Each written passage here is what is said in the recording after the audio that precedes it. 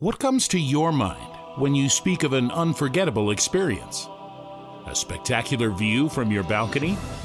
The smile of a child who cannot contain his surprise? The leap of a whale?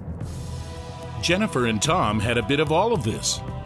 They chose Riviera Nayarit for their vacation without researching the destination and had no idea of what they would experience aside from a beautiful beach vacation. They enjoyed their hotel in Punta Mita, home to three virtuoso hotels. They marveled at the architecture of the hotel, the warmth and professionalism of the service, and the great food.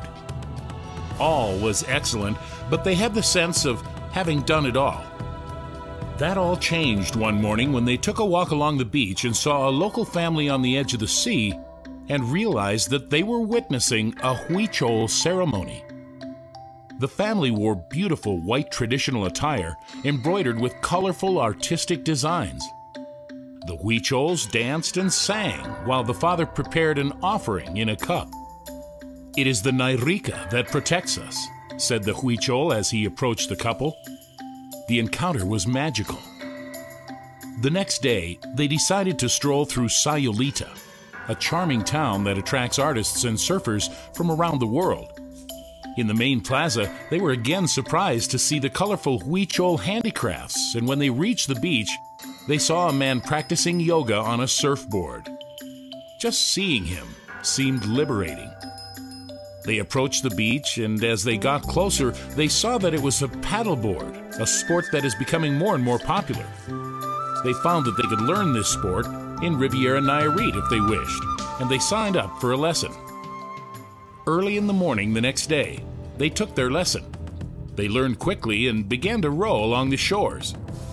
A bit later, they saw something in the distance a few yards away. I wonder if this is the immense humpback whale that we have been watching for the last few days, asked the instructor, and he realized that it was. An encounter of this type is rare. Humpback whales prefer to stay in motion. Coming closer, Jennifer and Tom could see that there was a baby whale at its side. That was when they recalled the words of the Huichols as they explained their sacred ceremony. This is the place where everything began. This is Riviera Nayarit, the place where everything starts. This is the image that comes to our mind when someone asks us about an unforgettable vacation.